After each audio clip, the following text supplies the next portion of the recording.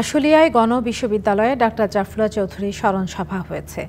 দুপুরে সাভারের একাডেমি মিলনায়তনে এই স্মরণ সভা হয়। গণ বিশ্ববিদ্যালয়ের উপাচার্য অধ্যাপক ডক্টর মোহাম্মদ আবুল হোসেনের সভাপতিত্বে স্মৃতিচারণ করেন গণস্বাস্থ্য কেন্দ্র ট্রাস্টি বোর্ডের সদস্য ফরিদ আক্তার, গণস্বাস্থ্য কেন্দ্রের প্রধান নির্বাহী কর্মকর্তা ও ট্রাস্টি সদস্য ডাক্তার মঞ্জুর কাদির। এ সময় ডাক্তার জাফরুল্লাহ চৌধুরীকে প্রতিবাদে উল্লেখ করে বক্তারা বলেন, তিনি জীবনের শেষ দিন পর্যন্ত মুক্তিযোদ্ধা পরিচয় বহন করে গেছেন। অনুষ্ঠানে জাফরুল্লাহ চৌধুরীর স্ত্রী শিরিন পারভিন হক ও ছেলে বারিশ চৌধুরী উপস্থিত ছিলেন।